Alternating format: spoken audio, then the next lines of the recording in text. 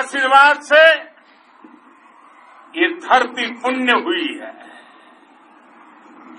वीर सपूतों के शौर्य और पराक्रम की गाथाओं को ये धरती अपने आप में समेटे हुए है। लेख लद्दाख से लेकर करगिल और सियाचिन तक रेजांगला की बर्फीली चोटियाँ से लेकर गलवान घाटी के ठंडे पानी की धारा तक। हर चोटी, हर पहाड़, हर जर्रा जर्रा, हर कंकड़, पत्थर। भारतीय सैनिकों के पराक्रम की गवाही देते हैं। फोर्टीन कोर की जाबाजी के किस्से तो हर तरफ़ है दुनिया ने आपका अदम्य साहस देखा है, जाना है। आपकी शौर्य गाथाएँ घर घर में गुंज रही है।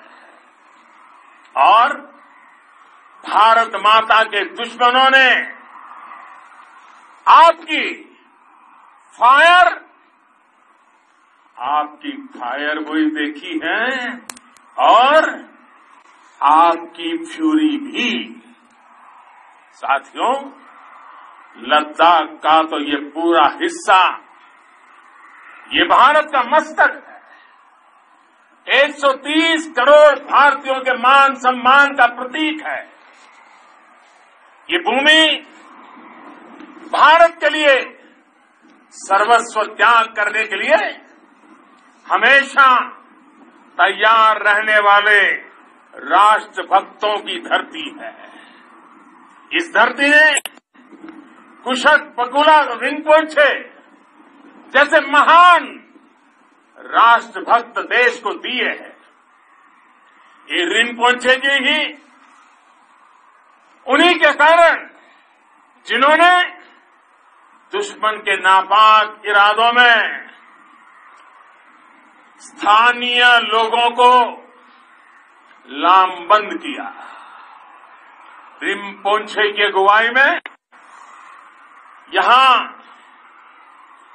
अलगाव पैदा करने की हर साजिश को लद्दाख की राष्ट्रभक्त जनता ने नाकाम किया।